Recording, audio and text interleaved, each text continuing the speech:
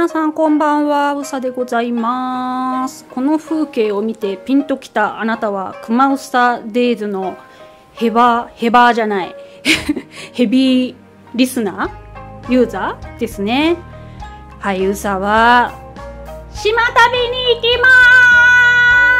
ます。と言ってもえー仕事もしているし体もまだそんなに調子が戻ってないので2泊3日でゆるりと行ってまいります。それなりに南の島ではありますがハトマやハテルマのようにたどり着けるかどうかわかんないとか予備日を設けなきゃいけないようなそんな島ではありません。では持ち物今回もざっくりと説明していきます。まずこの一番左えー、下ジーパン風の綿パンツにえー、極暖ヒートテックのスパッツ。これは極暖ヒートテックスパッツは向こうの空港に着いたら脱ぎます。でその上極暖ヒートテックそのもの上ですね。これも着込んだ。上で、えー、黒いプレイボーイと書かれたこの長袖の T シャツを着ましてその T シャツの上に、えー、こうわずかに見えてるんですけどもブルーのフリースを着ていきます。そしてその上に黄色い、えー、ノースフェイスの、え、ひろゆきっぽいパーカーを着ていきます。これは撥水加工がしてあるので向こうで多少の雨にあっても大丈夫かなと思います。というのもねちょっとね天気予報がね雨っぽいんだよね。だからまあ、なるべく雨でも大丈夫に対応できるような服装選びをいたしました。であのこっからこっちは着ていくものです。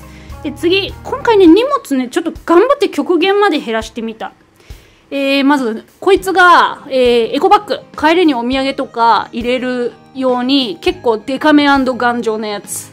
でこいつマスク向こうでつけるやつです。でこの隣のブルーのせいろガンです。でこれがあのうさがいつも持ってく黄緑のピンチハンガー。物乾かす時にめっちゃ便利。そしていつもの旅用のキャスケットですね。え続いてこのポーチが宇佐の常備薬入れ、えーと、副鼻腔炎の薬と精神科の薬となんだあと。まあそのぐらいか。が入っています。これ隣歯ブラシセットで、えー、こいつが喘息の薬です。えー、ウェットティッシュとティッシュ。でこのなんかの駅伝っぽいやつはえー、ビニール袋のバッグであの紐が縛れる程よいサイズだったのでお風呂行く時に使おうと思ってます。でこのポーチの中が、えー、下着類ちょっと見せちゃいけない やつです。えー、でこいつがサングラスと耳栓セット、え、このピンクのプレイボーイが2日目に向こうで着るやつ、えー、でこの、えフレンチブルみたいなやつがこれは、え生理用品かな。あの万が一あのねうさねワクチン打ったせいでちょっと生理不順がひどくてね。だからちょっと、えー、生理用品多めに持って行っています。はいその下行って、えー、これ2枚持っててねこれ下着兼あのもし暑かったらこれ1枚でいいかなって思ってんだけど、えー、ユニクロの半袖のエクストラファインメリノ。うさ最近ねあのユニクロのエクストラファインメリノを下着に使うっていうのにハマっててあのねどうもねヒートテックとか河川がね本当に皮膚がかぶれやすいのね。であの毛が毛の下着がすごいいいっていうのをなんかの記事で読んでで毛の下着って検索するとめちゃくちゃ高くてとても手が出ないんだけどえだったらあの下着じゃなくてセーターを計100のセーターを下着しちゃえばいいじゃんっていう発想でやったらこれめちゃくちゃいいです。皆さんもおすすめです。でこちら初登場かな。ワークマンさんで買ったレインパンツです。えー、前回式根島でどっしゃぶりの雨にあった時にあのいくら上をパーカーでしのいでもズボンが大変なことになるということを学んだのでズボンの上から履けるラージサイズを買っております。で靴下2枚折りたたみ傘。あこれは万が一歩いて島を回る時になったらって感じだね。はいそして、えー、こいつがえー、なんだ？手触りで判断。あえっ、ー、とね喘息の突発吸入薬。えーと、朝必ず吸ってるんだけどそれとは別に呼吸困難になったら吸うやつ。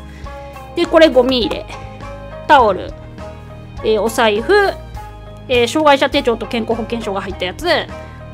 これは寝巻きロング巻きしワンピースなんだけど寝巻き兼万が一びしゃ濡れになった時用の洋服、えー、ハンカチ2枚、えー、モバイルバッテリー。でもって終了かな？回少なくね？我ながら頑張ったと思うんだけど。っていうのもねちょっと最小限に荷物を抑えたくてね。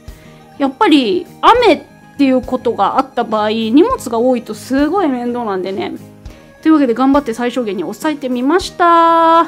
どこの島に行くかはお楽しみです。また後々 VTR あげたいと思います。じゃあ皆さんバイバイ。旅楽しんできます。